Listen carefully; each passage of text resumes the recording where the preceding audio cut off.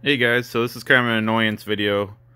Um, so I got two PCs from Best Buy that are Thermaltake, which I think this is Thermaltake's fault, not Best Buy's, but I'm not sure.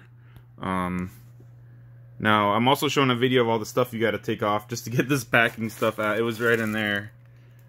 Yeah, look, it's like, and then they had all this packing material in the case. Kind of interesting.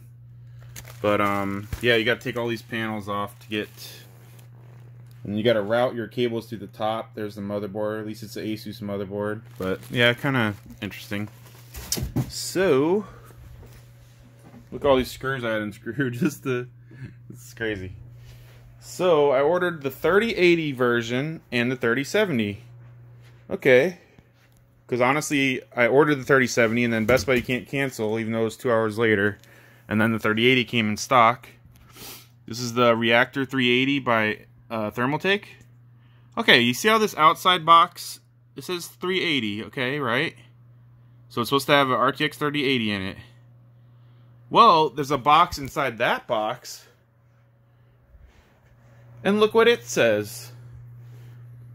It says 370. It's a 3070. So I still haven't got a 3080 graphics card. I, I've been looking for months.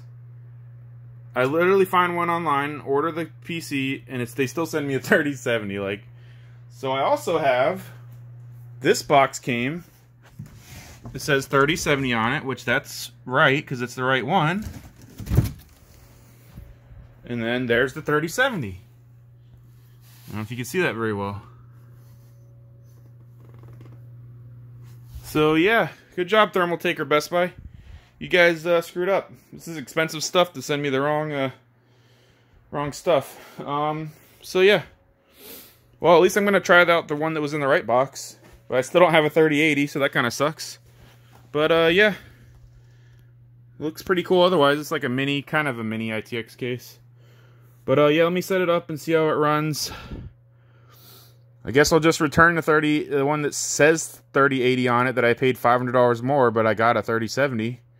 Um, I haven't called Thermaltake yet. I guess I could try to call them, but at this point, I might just keep the cheaper one. I don't really want to give them more money than I already did, so I don't know. It's just disappointing. All right, thanks, guys.